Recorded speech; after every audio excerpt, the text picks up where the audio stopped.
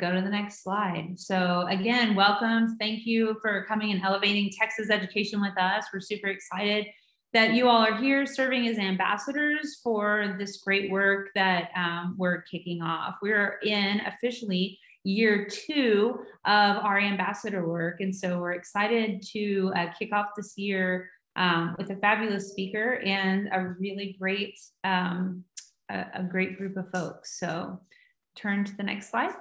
Um, and so just as a, a reminder, we our mission here is to address the critical teacher shortage in our state and to strengthen the educational pipeline that connects K-12 and um, in our institutions and universities. Um, and we also are here to support pre-service and in-service teachers by connecting research to practice in accessible and innovative ways, which is one of the reasons why I started saying who's tweeting, who's making infographics, who's thinking about um, how you can make your work more accessible to our super busy educators in the field right now. Um, and we're driven by our, you know, our key drivers of looking, thinking about demographics, data, policy, practice, and partnerships.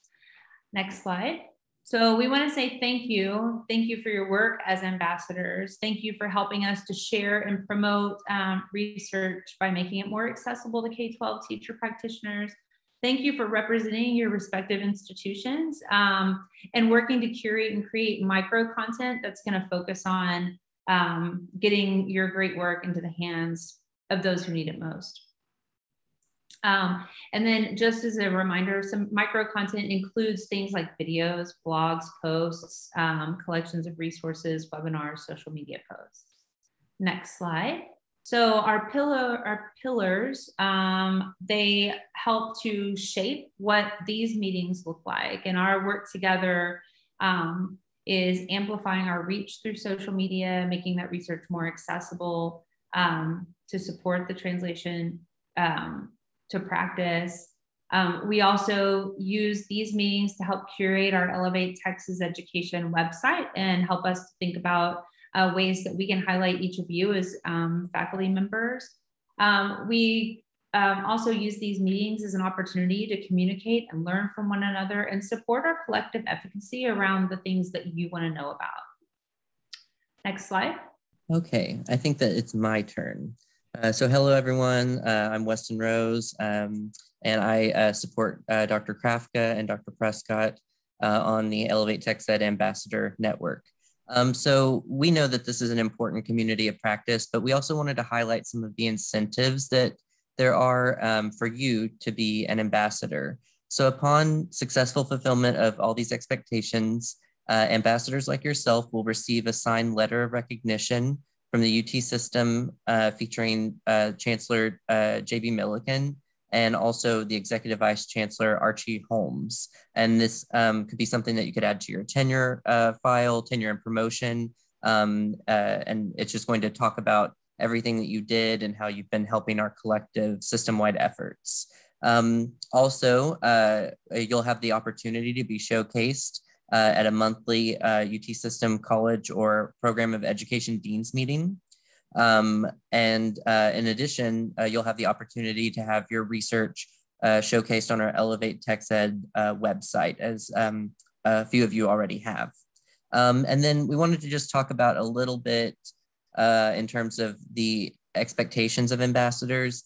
Uh, nothing too strenuous, but um, we would hope that an ambassador would attend at least six remote ambassador workshops, which most of you already do uh, over the course of the 2021-2022 academic year.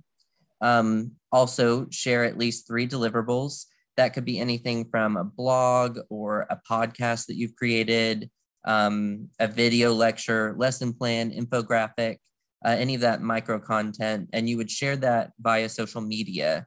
Um, so Twitter, YouTube, LinkedIn, whichever platform you feel most comfortable with. Um, over the course, again, of the 2021-2022 academic year. And finally, collaboratively share and create resources that make research and scholarly knowledge more accessible to public educators. Um, and down here, we'll make sure that you have this, but we have a um, link to the commitment agreement.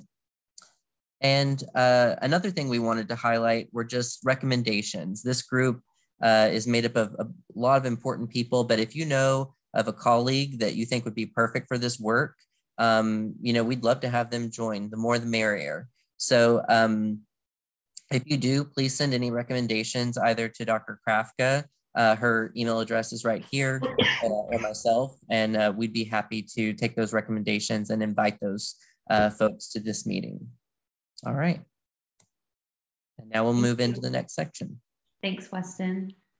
Um, so I just want to say uh, a, a, big thank you and uh, to uh, Dr. McCarthy for joining us today.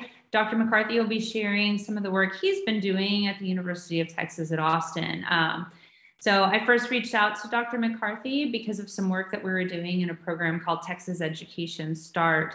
Our teachers were, uh, we support early career teachers in Austin ISD, and our teachers were just crumbling, falling apart really like just super stressed out. Lots and lots of our teachers were talking about um, quitting. They didn't want to continue the work. Uh, and these are, you know, our earliest career teachers that we were hoping would be excited and, you know, innovative, uh, like uh, feel invigorated about the work. And instead they, you know, walked into a pretty, um, a pretty high stakes and very upsetting situation. Lots and lots of um, you know, things flying their way, obstacles and barriers and things that were making their job really challenging, um, including COVID.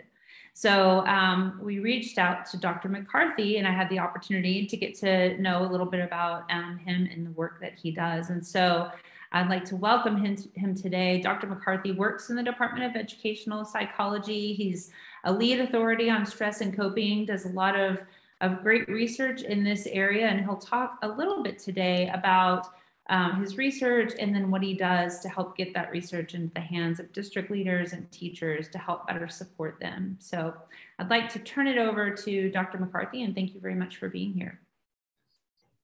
Awesome. Thank you so much for that uh, lovely introduction. It's good to uh, talk to y'all today. Can everybody hear me okay? Can I get like a, okay, seeing a lot of heads nodding, so that's that's really good. Um, yeah, so it's um, uh, as I'm talking, of course, a garbage truck is going past my street here, so you may hear a little background noise. Um, but yeah, so I'm a, a person in um, the educational psychology department, but I, and even though I'm a psychologist, it's kind of unusual to study teachers because counselors and psychologists usually study therapy and um, psychological processes like that. But I've always been interested in stress, um, particularly. And then around 20 years ago, I started working with a colleague at UNC Charlotte to really focus in on um, teacher stress. Um, and at that time, I think the, you know, 20 years ago, most of the focus was on the accountability movement, you know, it was around the year 2000. So George W. Bush was just starting as president and um, there was the whole accountability movement. Um, I'm not sure that's the right word to use, but uh, that's kind of what we called it, at least then.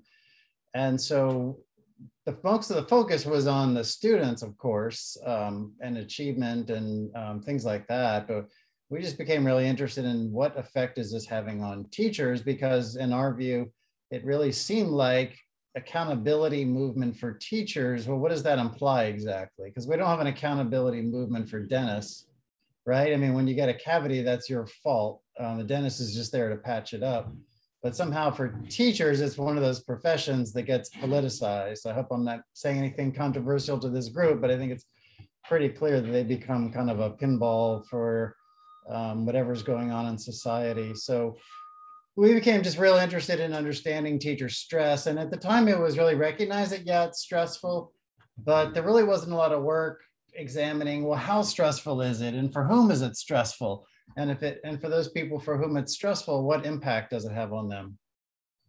So our research started um, really trying to assess teacher stress. Um, and we came from a framework that really emphasizes stress it's a psychological process and it really has to do with like our own um, psychological balancing of demands in our environment and what resources we have so the demands are like anything that's um, like a requirement or something that you have to do or some kind of challenge.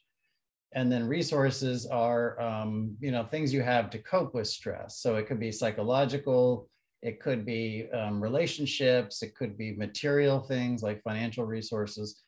Um, so we were really interested in, and so this notion of stress really came from psychologically. It's it's kind of a balancing act, much like your checkbook, right? If you if you have too many things uh, going out of your checkbook, I know we don't use checkbooks anymore, but metaphorically, um, if you have too many things drawing on your checkbook and not enough going in, like then you end up in trouble pretty quickly. So we developed kind of with that thinking in mind, a measure we called the classroom appraisal of resources and demands for teachers. We call it the CARD for short.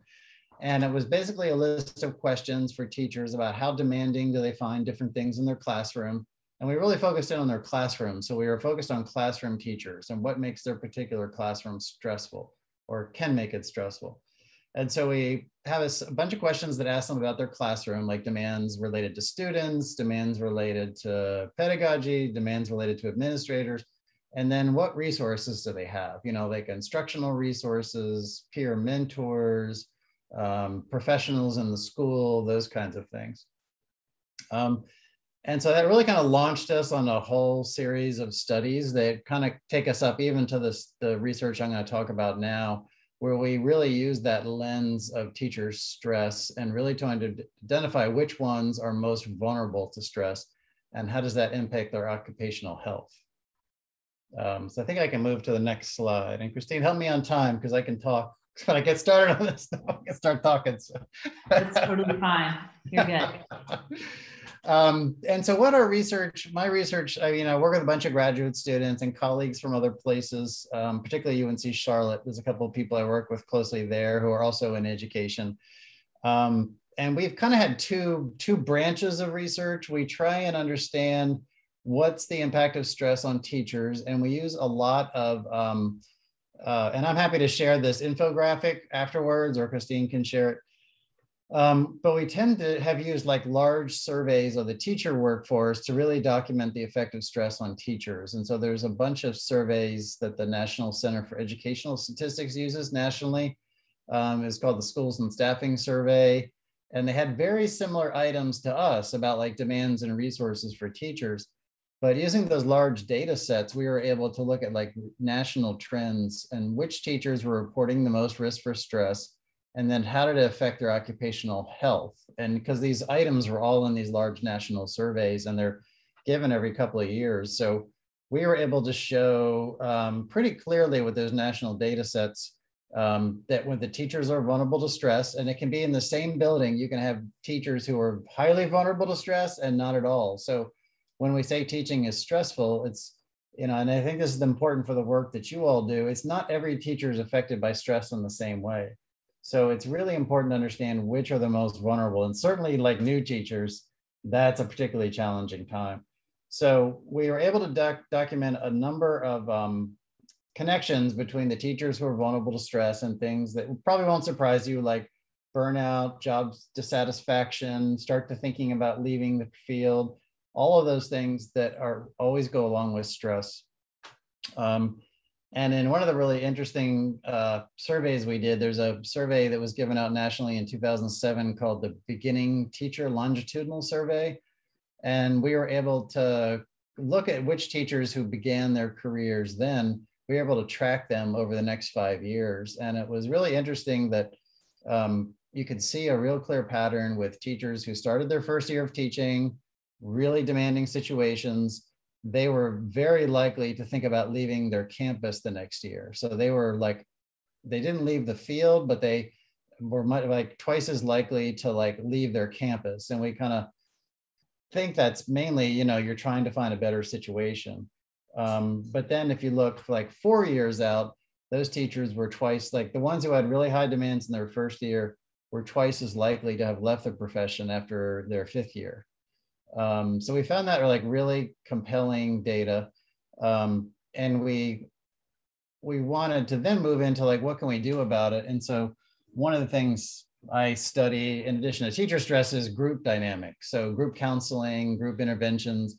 And so we created a um, another arm of our research which focused on like how can we use small groups for teachers in the classroom to like teach them about stress, give them a place to connect, um, and really kind of um, give them some tools, but also create a space for them to share. And so that I'm not going to talk about that in any detail, but that's research we've done the last couple of years, and we've moved it also with pre-service teachers because we found a lot of times you do the group with teachers who are like well along in their profession, they're already kind of burned out, sad to say. Um, and we wanted to kind of give these tools early on. So we, one of my students did his dissertation with pre-service teachers at UT um, that was really well received, kind of teaching them principles of self-care and, and things like that. Um, so the infographic that uh, is up here is a study we did last year in collaboration with Round Rock Schools. So we had formed a partnership with them over the last couple of years um, to work with the district on, um, you know, the stress of their teachers. But before the pandemic started, they have a climate survey that they did every year, and they agreed to include our items from the card in some of their teacher climate surveys. And so we were already like kind of involved with research um, and we had really interesting findings from that climate survey. That was in January of um, 2020, right before the world ended. but um, so we had like this really interesting data that we've been using as well that I, I, won't get into. But as you can see, I can really start talking when I get started here. Um, really just kind of looking at campus by campus, um, you know, which campuses were reporting the highest levels of stress what other factors seem to go along with that, like turnover in administrative leadership and um, you know where the school was situated, um, those kinds of things. Um, so we'd begun that work, and that's when COVID hit um, in the spring, obviously, of 2020. So this um, infographic is a collaboration we did with Round Rock last year um, to really try and use what we'd already been doing to understand how teachers were doing during the pandemic. Um, obviously mostly not not well, as we all know. Um, so we did like a, a, monthly survey with the teachers. We partnered with the district to give them some incentives to, you know, each month fill out a little checklist about their stress. Um, so, and that went out through a, Qualtrics link. So um, they just got a little link about like what are their a very brief version of our measures saying what are the main demands, what are the main resources, um, what kind of instructional format you're using now, you know, whether you're hybrid or online. Um, and those went out every month from December through April. Um, and that's kind of like the way we, and really, I mean, looking back on it, we didn't know what to expect. I mean, who knew what, you know, we were planning the study last fall. We were like, who knows what's going to happen with COVID? I mean, it could go away. It could get much worse. I mean, you know, so we were really interested in like, what was happening on a monthly basis. Um, and so this is just a real brief snapshot. So we, in addition to asking them survey items, we also asked them really open-ended questions, you know, kind of tell us in your own words, what's going on, um, how are things going? And so that's that little red box at the bottom. Can everybody see that okay? Um, and yeah, so this is- We also put the link in the- um, Oh, great. Yeah. Thank you and really this infographic kind of what christine was talking about was really what we created to give back to the district and to give to stakeholders in the district because we've been presenting this research at conferences and, and things like that um, i'm actually right now working on an edited book on teacher stress during the pandemic and we've got a lot of contributors from across the us and uh, across the, the uh, world really. We have you know people from different countries but we were like let's create something that we can share with people and and kind of create a discussion because most of the stuff academics put out like me is kind of dense sometimes and you know not accessible to a lot of people. Um, so we did the surveys and so I'll, I'll talk at the bottom that red part just as as qualitatively like in their responses. So we used a team of graduate students to kind of analyze all of the things they said each month and what kinds of themes and patterns did you find. And i had to say one of the things was really interesting was it was really consistent each month. You know we thought well maybe it'll be all over the place one month the teachers will be talking about x the next month y.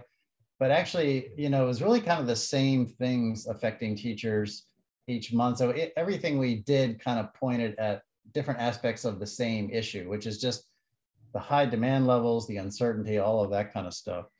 Um, as you may not be surprised, what really came out in our data was um, the hybrid instruction being very demanding last year for teachers, you know, so as the year unfolded and as the pandemic unfolded, the ones that were asked to do both were really just, you know, they just were on and on about how just challenging that was.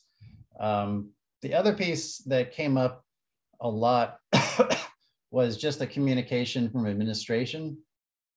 So, you know, they appreciated that um, when it was like really timely and consistent and was helpful.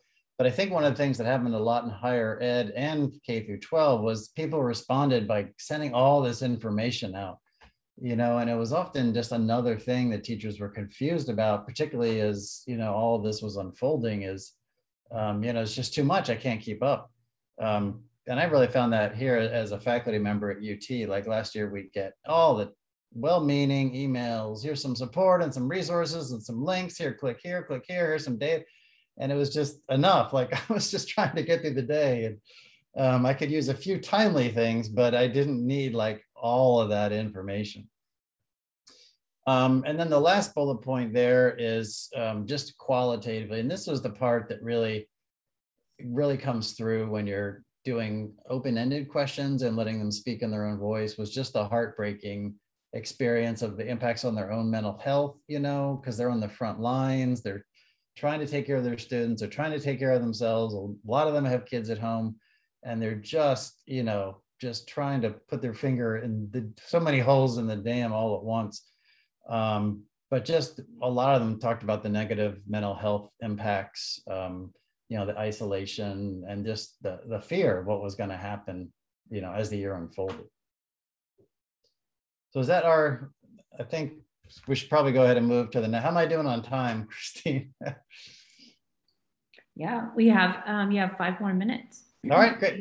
Yeah, if you'd like, or I can, I can take it. It's up to you. um, no, I can, I can start. I kind of gave you the background, so I think I can move a little quicker now. Yeah. Um, that top left slide is um, what we got quantitatively. So we used our, our card measure our assessment of which teachers had the highest demands compared to their resources. And that chart really kind of shows in the green is where the high resource teachers, those that were coping pretty well, where they really were saying that where they had higher scores. So preventive coping is really their own psychological resources. They reported those were higher, um, which makes sense. You know, they were the ones less vulnerable to stress they talked about more positive emotions. And then we really looked at their efficacy as a teacher. So as far as student engagement, all of those things were higher. So those were like really consistent. And again, for those of you reaching out to teachers and really trying to support them, I think this just underscores the connection between their own well-being and stress and how they do in the classroom. The teachers who were feeling like the stress was under control were reporting all these green lights across the board. And then the ones, the teachers that were more in the high stress category talked a lot about just they had really higher high levels of perceived stress and then a lot more of the negative emotions. Um, and then those two boxes uh, on the left, um, we did some follow-ups with, and these were um, students of mine who were doing dissertations. One was on gratitude. So she was really interested in that as an intervention for teachers. We see that as like a something you can do system wide for teachers that is um, you know relatively low cost. Um, there's not a ton of research on it now, um, but she interviewed. She didn't. She wasn't able to provide gratitude, but she was able to interview them. You know what's helpful about it, and the teachers really um, reported how much experiencing gratitude impact their efficacy as a teacher but that was most helpful in their comments was when it's really targeted to specific things they were doing. So they really appreciated the gratitude, but things like teacher appreciation week weren't as well received because they were generic and it didn't feel like it valued their particular work. Um, and they also, when they were talking to us, worried about, well, yes, I like gratitude, but I don't want it to substitute for money. so that's, I think, one of the things with the helping professions or you know is like sometimes we get thanked but it feels like we're not going to get compensated either um, and then the last another follow-up we did was around mentorship which i think is connected very closely to the work y'all do um, which is like what aspects of mentorship were helpful. So um, a lot of it that was most helpful was informal. Um, they talked a lot about structural barriers to actually getting the mentor they needed. So release time in their schedules or opportunities to connect with their mentors. Um, and it really, but when it worked, you know, when it clicked, it was a very positive um, source of support for teachers. So both of these were highlighting things we can do to support teachers that are pretty actionable if they're done well. Um, so just to kind of wrap up from our survey, it had a couple of these different branches, but obviously it impacted teachers' occupational health very strongly. Um, and then there are these things we can do, perhaps looking forward to think about ways we can better support teachers in the future as we hopefully move out of this pandemic. Thank you. Thank you very much, Dr. McCarthy. I appreciate you sharing. and um, our our journey with uh, Texas Education Start um, has been uh, really interesting because we've had opportunity to create an early career support program for teachers in Austin ISD, um, working very closely with the district. Um, we work with 14 campuses. We have seven teacher leaders, and um, we also work with faculty experts who can come in and help to provide support to these teachers. And so I'm going to share with you a little bit about our program, what we've done to help bring this program to life, to help tell the story of the program through um, through uh, the use of social media and through the use of um, creating little videos and um, um, and then all, and then um, sorry I've like totally lost my train of thought for a second um, and then also, yeah, I'm like, uh, what was I saying? Um, infographics, using infographics, using data, and then also using uh, some of the work that Dr. McCarthy did for us. And so I will start our story um, in this space. Will you go to the next slide, Weston? Thank you. So our novice teachers receive coaching and mentoring from teacher leaders um, that are hired as external consultants, um, the best way I can explain it, hired as external consultants. We um, use our teacher leaders and also work with the district to provide professional development and uh, learning opportunities for uh, these novice teachers. In addition, our faculty experts uh, create resources for professional learning as well. Um, one of the things that we're most proud of is that we um, also create opportunities for our teachers, our early career teachers, to um, um, be part of a near a, a peer network. So working with these teachers to give them some additional support so that when we go away one day, they still have one another to lean on. Um, and then we also have classroom ready resources, so things that they can put to, into use um, immediately. And we provide those through a virtual platform so they can go online, they can print resources um, and then in many cases, they'll reach out to their teacher leaders or their coaches and mentors and say, hey, this is what I need. And those folks will bring it right to the campus for them. Next slide.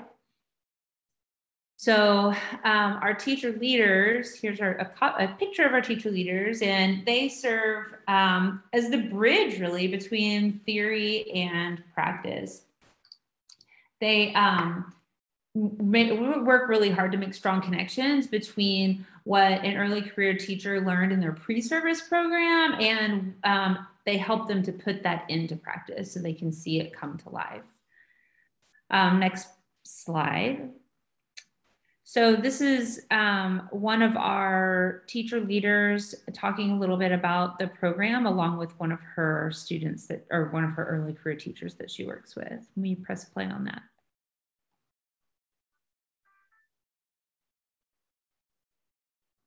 Hi, my name is Shannon Galvan, and I'm the teacher leader for Walnut Elementary and Cook Through the Texas Education Start program, I had the opportunity to support new teachers as they navigate this difficult time. Hi, Destiny Nichols. I teach first grade ESL at Cook Elementary.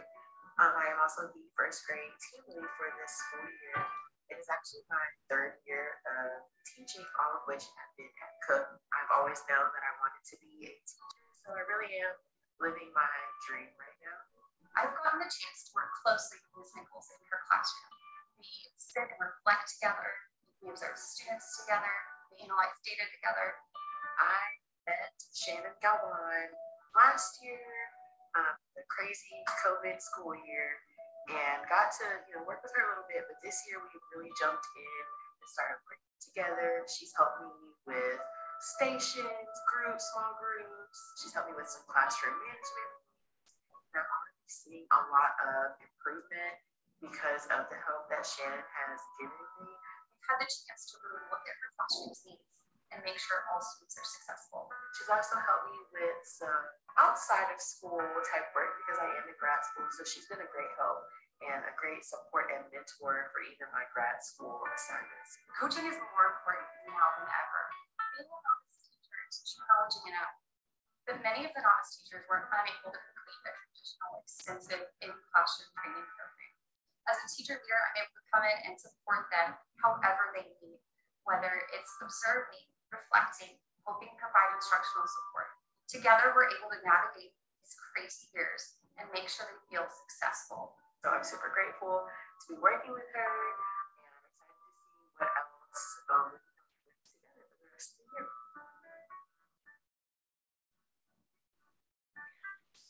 So thank you, Weston. Um, so the internet was a little hard for me. I don't know if it was th- that way for everybody, but um, I did put the link in the um, chat if you'd like to take a look at the video um, using, um, you know, on in your own time. But um, at any rate, I was going to share. Um, this was something that we put together and was super, super, super simple. We wanted um, to be able to tell the story about our program with using the faces and the names and hearing from the teachers and our teacher leaders. And so um, Shannon and her teacher, this was both video, they just recorded themselves on their iPhones. Um, and then they sent that that video over their videos from their iPhones over to Audrey, who then um, was able to put that together and put some music behind it. So um, if you have an amazing graduate student like I do, um, you can solicit their help to be able to put things like this together, and you'll see some more evidence of Audrey's work as we continue um, on. But I loved how this came together because it's a great way to see the program come to life. But it was done so simply, really just reaching out to Shannon and saying, "Hey, can you and a teacher, one of your teachers, you know, send us a little blip about um, why what you're doing is important." So another way to um, share the work that you're doing in super easy ways. And we put that up on YouTube. We asked our College of Ed to um, tweet it out. And so um, they did that. And last time we did it, I think we had, I don't remember how many views, but it was a lot. One of my teacher leaders reached out and said, You didn't tell me people were going to actually be watching the video. I was like, Sorry.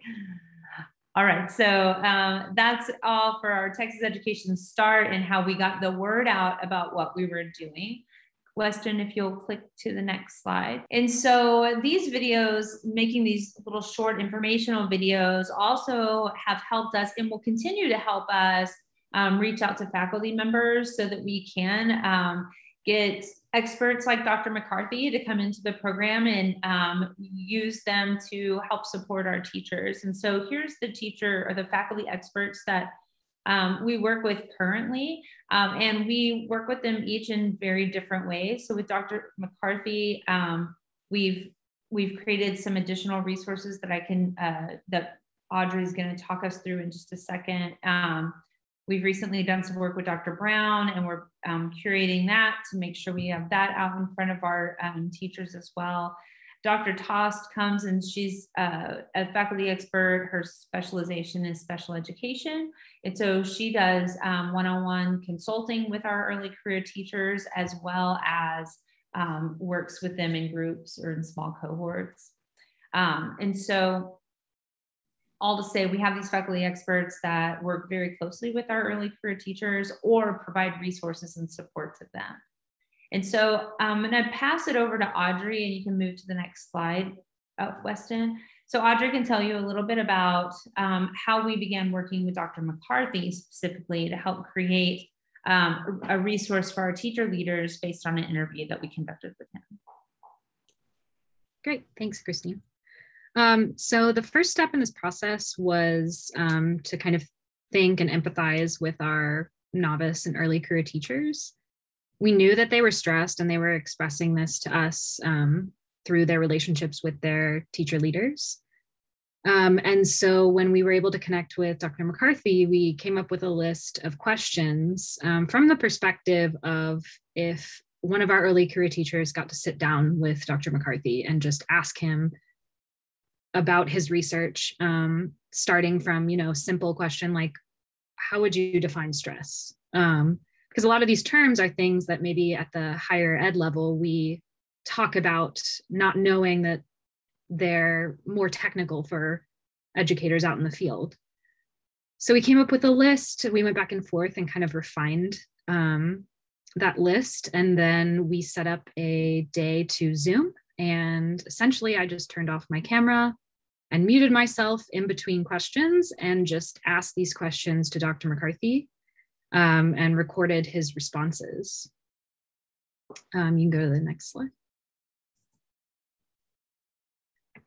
Um, so after we recorded the Zoom, I took the recording and um, edited out my parts where you can hear me talking and asking the questions uh, to where it was just Dr. McCarthy, added in graphics that illustrated what he was talking about or, you know, had words around him uh, that coincided with definitions that he was using um, again, to make this a more accessible resource for someone that knows nothing about these topics and is watching it. And this is the screenshot of um, our thumbnail for our YouTube video.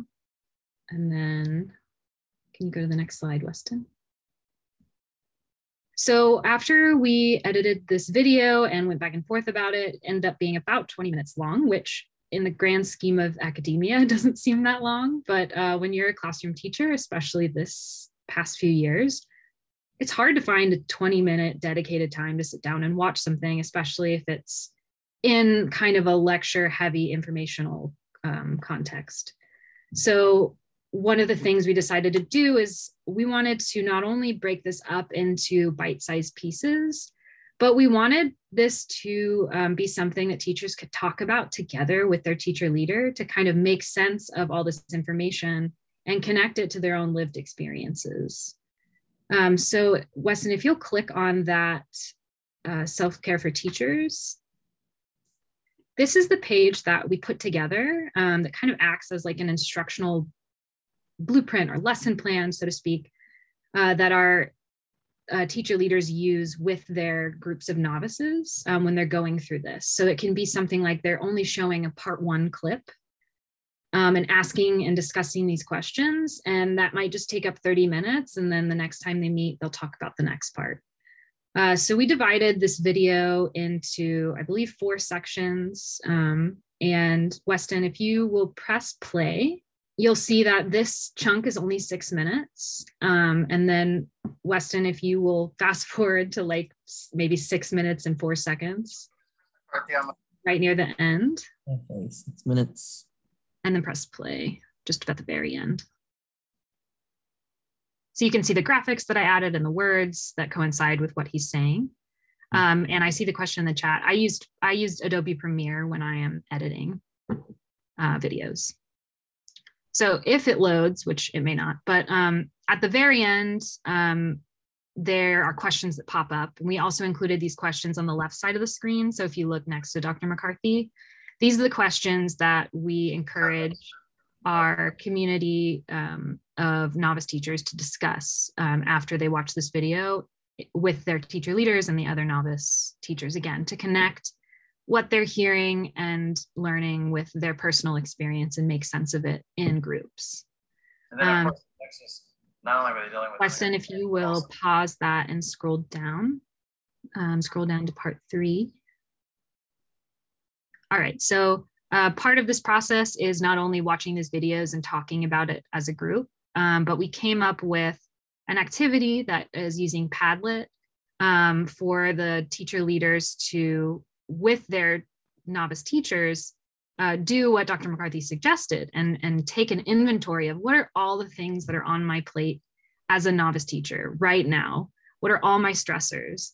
And then once I have all those written out, what are the resources that I need in order to meet these stressors?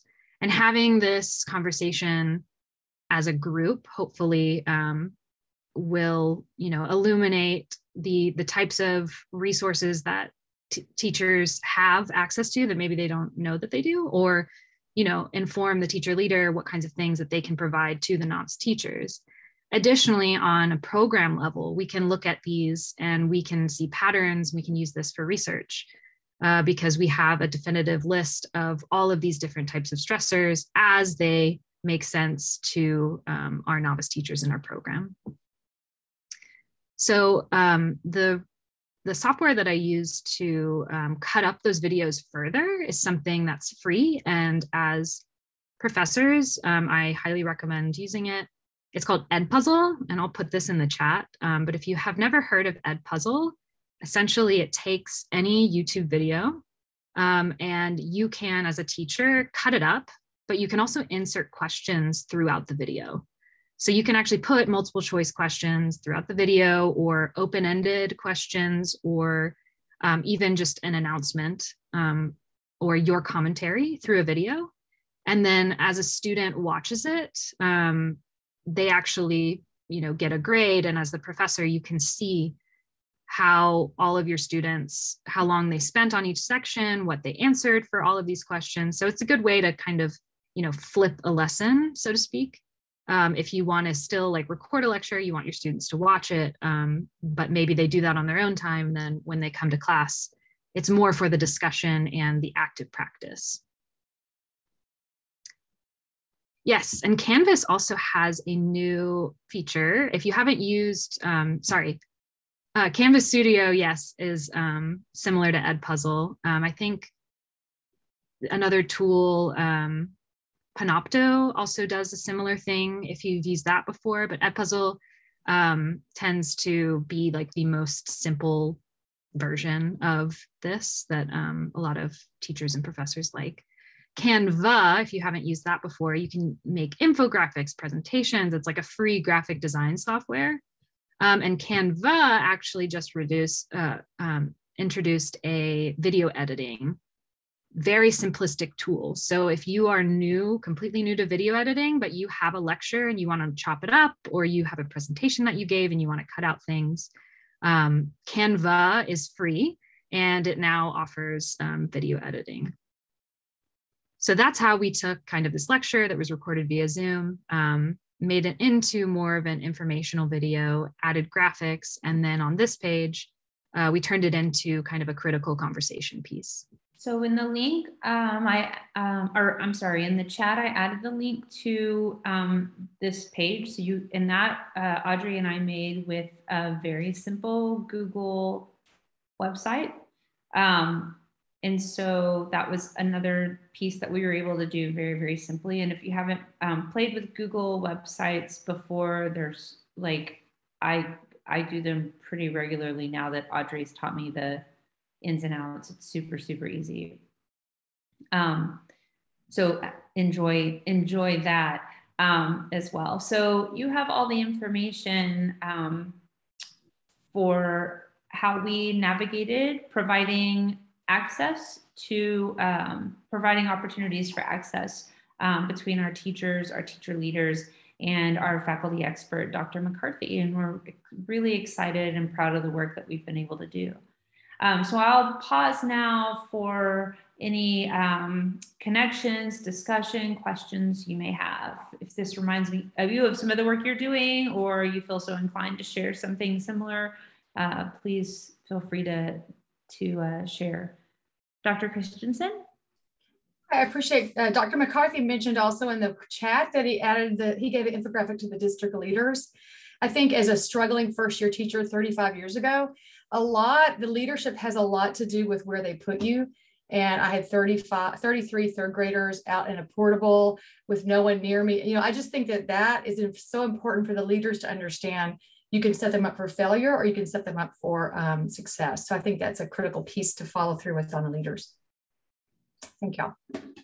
Yeah, thank you very much. And uh, one other thing, it's just not done yet, but I was really hoping I could finish it before our meeting so I could show you all. But um, we have um, I'm going to call it a newsletter, but basically it's, um, yeah, kind of a newsletter just summing up the work that our teacher leaders have done in the fall semester. And so um, we've provided all sorts of like analytics, like our teacher leaders been to your campuses this many times, and this is how many teachers we've been interacting with. And this is what those interactions look like and we've also met with your assistant principal and your you know this and that so it has those kinds of things in it but we also included things like we've been working with dr mccarthy and this is the you know here's some things that you know we've learned from him and he's a faculty expert at the university you know um, and then we one other piece that we wrote is um, a little bit about how important the um, campus leadership is to a the success of an early career teacher and then asking them to like share with us like how can we help to support how can we support you in helping to support the early career teachers on your campus? And so i very much appreciate that and i think that he, that piece is a huge um, a huge piece of the work that is so easy to like you know forget or or to misstep and and not communicate. So we we're really working um, on all of these pieces. Dr mccarthy's piece our little newsletter fall newsletter the um, and the other piece that i showed you really working to like use these as tools for communication um, to help us to be better able to say like this is what the work looks like and this is you know, how it's helping the teachers on your campus. Well, before we hop off, um, I just wanted to um, share with you one more piece. And Weston, you might have to refresh, um, but I can talk through it um, if you don't see one more. One second. Um, our December meeting is um, you know we blink and these months fly by. So i just wanted to introduce uh, thank you dr mccarthy for sharing sharing your work with us today. I'm super excited to have you um, with us. And for december i hope you guys choose to um, join us again. Dr zolkoski will be um, joining us from the ut tyler department of, of um, education. And she's here with us today. I invited her to come and um, check it out and be a part of the group. So thanks for coming she's going to be talking about uh, resilience, teacher resilience, and pre-service teacher resilience specifically. Um, and so I think we'll have a lot to learn from uh, Dr. Zolkoski. So thank you all very much for coming. Uh, reach out if you need anything, and uh, we appreciate your your work around all these all this.